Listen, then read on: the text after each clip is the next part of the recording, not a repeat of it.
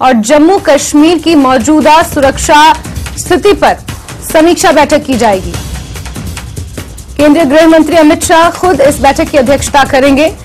North block, नई दिल्ली में ये बैठक आयोजित की जानी है।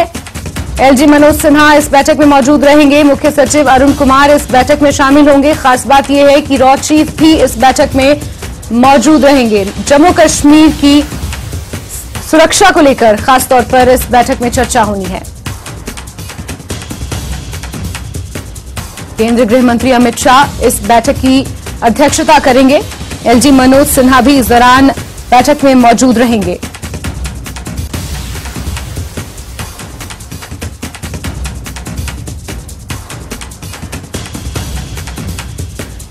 तो बड़ी खबर आपको बता रहे हैं, जहाँ आज नॉर्थ ब्लॉक, नई दिल्ली में अहम बैठक रखी गई है। हमारे सहयोगी शैलेंद्र ज़्यादा जानकारियों के साथ इसी खबर पर जुड़ गए हैं। शैलेंद्र अब से कुछ ही देर बाद ये अहम बैठक शुरू होने वाली है।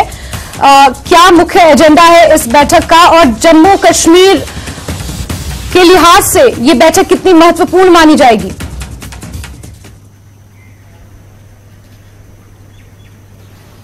देखिए जैसमिन आपको अपडेट कर दे आपसे शैलेंद्र हमारे सहयोगी इस वक्त हमारे साथ जुड़े हुए हैं। शैलेंद्र अगर आप मेरी आवाज़ सुन पा रहे हैं तो अब से कुछ ही देर बाद ये बैठक शुरू होने वाली है और कितनी महत्वपूर्ण इस बैठक को माना जाए। शैलेंद्र।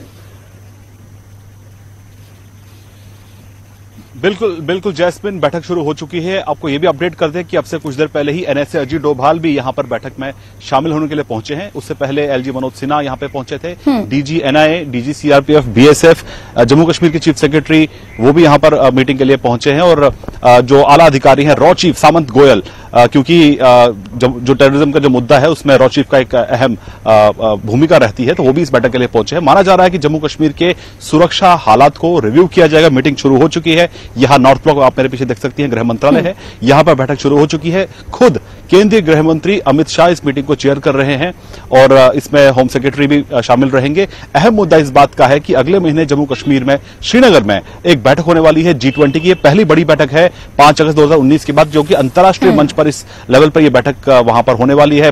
बाईस से चौबीस मई के बीच में। तो ज़ाहिर तौर पर उसके सुरक्षा इंतज़ाम क्या होंगे इसको लेकर इस बैठक में चर्चा हो सकती है। वो अहम मुद्दा रहेगा। वहीं साथ ही साथ जम्मू कश्मीर के हालात पिछले कुछ सालों में बदले हैं बेहतर हुए हैं और जो टेरर आउटफिट्स के हम्म। जो कमांडर्स हैं उनका खात्मा भी किया गया है भले ही पाकिस्तान इस वक्त जो है वो इस सख्ते में है और परेशान है बौखलाया हुआ है लेकिन ऐसे में किस तरह से आने वाले दिनों में वहाँ पर अहम बैठकें कराई जाएँगी और वहीं साथ ही साथ अमरनाथ यात्रा भी शुरू होने वाली है जून के आखिरी हफ़्ते में तो इन तमाम पहलुओं हम्म। पर आज की मीटिंग में चर्चा होगी सिर्फ़ सुरक्षा ही नहीं बल्कि जो विकास है उसको लेकर भी रिव्यू किया जाएगा इसकी इस बैठक में जिसको गृहमंत्री अमित शाह चेयर कर रहे हैं। और ये दूसरी बैठक है दो दिनों के अंदर कल यहाँ पर गृह सचिव अजय कुमार भल्ला की अध्यक्षता में बैठक हुई थी जिसमें जम्मू कश्मीर के डीजीपी भी शामिल हुए थे जम्मू कश्मीर में जो दोनों आईजीज हैं जम्मू आईजी और कश्मीर आईजी वो भी इस बैठक में शामिल हुए थे। तो कुल मिलाकर आज की इस बैठक में रिव्यू किया जाएगा जम्मू कश्मीर की सुरक्षा हालात को लेकर और किस तरह से जी बैठकों बैठक को किस तरह से सुरक्षापूर्ण वहाँ पर संपन्न किया जाए क्योंकि जो जो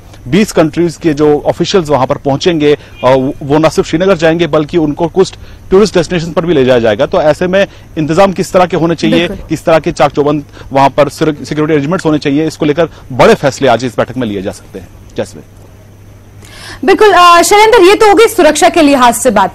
लेकिन अगर इस चीज़ को ऐसे भी समझने की कोशिश की जाए कि अंतर्राष्ट्रीय मंच पर जम्मू कश्मीर की जो छवि खासतौर पर गढ़ी गई है कश्मीर की आ, ऐसे में जब जी ट्वेंटी की इतनी बड़ी अंतर्राष्ट्रीय स्तर की एक बैठक श्रीनगर में होने वाली है तो अपने आप में ये काफ़ी गर्व की बात होगी कि जिस तरीके से जम्मू कश्मीर के हालात में सुधार हुआ है ऐसे में आ, जितने भी इंटरनेशनल डेलीगेट्स वहाँ पर पहुँचेंगे उनके लिए भी ये एक कहीं ना कहीं ऐतिहासिक पल होगा और भारत के लिए भी अपने आप में काफ़ी गर्व की बात होगी कि जिस जम्मू कश्मीर कश्मीर को आतंकवाद से हमेशा जोड़कर देखा जाता था इवन ऑन इंटरनेशनल प्लेटफॉर्म्स वहाँ से लोग यहाँ पर पहुँच रहे हैं और उन्हें श्रीनगर के ऐसे कुछ स्थानों का दौरा भी कराया जा रहा है और सुरक्षा के लिहाज से भी वहाँ पर परिस्थितियाँ जो हैं, उनमें काफ़ी सुधार हुआ है, बदलाव हुआ है, ये देखने का मौका भी वहाँ पर लोगों को मिलेगा।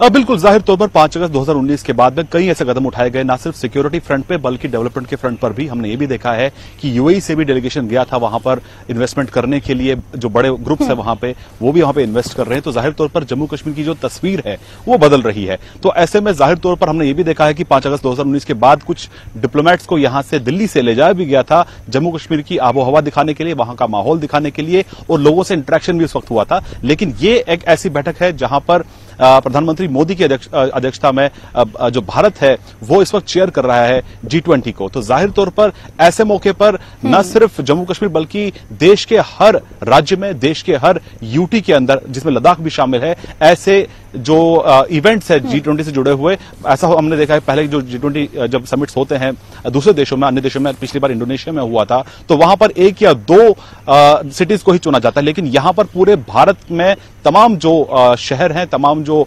स्टेट्स हैं वहाँ पर मीटिंग्स की जा रही हैं ताकि भारत का ओवरऑल जो आउटलुक है वो दुनिया के सामने एक बार आ जाए। और वहीं हम्म। जम्मू कश्मीर की हम बात करें तो खूबसूरती के लिहाज से जिसको जन्नत कहा जाता है तो ज़ाहिर तौर पर वहाँ पर इस मीटिंग इसमें एक टूरिज़्म वर्किंग ग्रुप की मीटिंग जो है वो की होने वाली है बीस बाईस से चौबीस मई के बीच में। तो ऐसे में उसको कैसे कामयाब बनाया जाए और जम्मू कश्मीर की जो असल हालात हैं जिनको कुछ सोशल मीडिया से जो अलग तस्वीर जो है जम्मू कश्मीर की जो वहाँ पर शांति लौट आई है वहाँ पर इस तरह की जो पहले इंसिडेंट्स होते थे या यू कहे पत्थरबाजी होती थी अब वो बद, बदल रहा है सब कुछ तो ऐसे में ये मीटिंग वहाँ करा के मैसेज ये भी जाएगा कि जम्मू कश्मीर में जो हालात हैं वो पहले से काफ़ी बेहतर हो चुके हैं। इन्वेस्टमेंट्स के लिहाज से भी ये मीटिंग काफ़ी महत्वपूर्ण मानी जा रही क्योंकि जब वहाँ विदेशों से जब डेलीगेट्स यहाँ पर आएँगे जिसमें पी फाइव कंट्रीज़ के भी मेम्बरान होंगे जो ऑफिशियल्स होंगे वो भी इस मीटिंग के लिए आएँगे तो वो देखेंगे कि इस तरह से जम्मू कश्मीर की, की जो जो जम्मू कश्मीर को लेकर जो एक प्रोपोगेंडा चलाया जाता है पाकिस्तान की तरफ़ से अंतर्राष्ट्रीय मंचों पर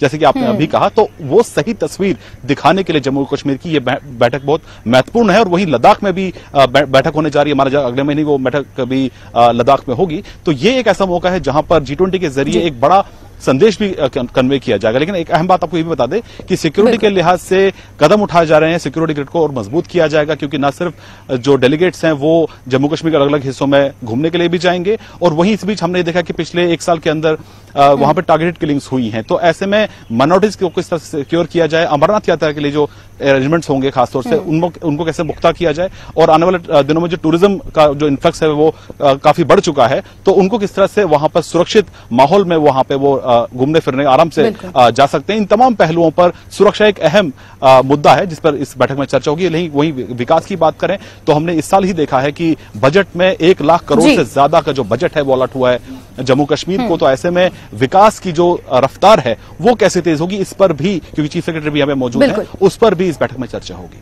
जैसमिन। बिल्कुल शैलेंद्र और उन सभी ताकतों को एक कड़ा संदेश भी यहाँ से देने की कोशिश की जाएगी जब तमाम डेलीगेट्स यहाँ पहुँचेंगे और अलग अलग टूरिस्ट डेस्टिनेशन पे उन्हें घुमाया जाएगा और इस लिहाज से ओवरऑल अगर सुरक्षा के लिहाज से हम बात करें तो आज की बैठक काफ़ी महत्वपूर्ण नज़र आ रही है। आप नज़र बना के रखें शैलेंद्र बहुत शुक्रिया हमसे जुड़ने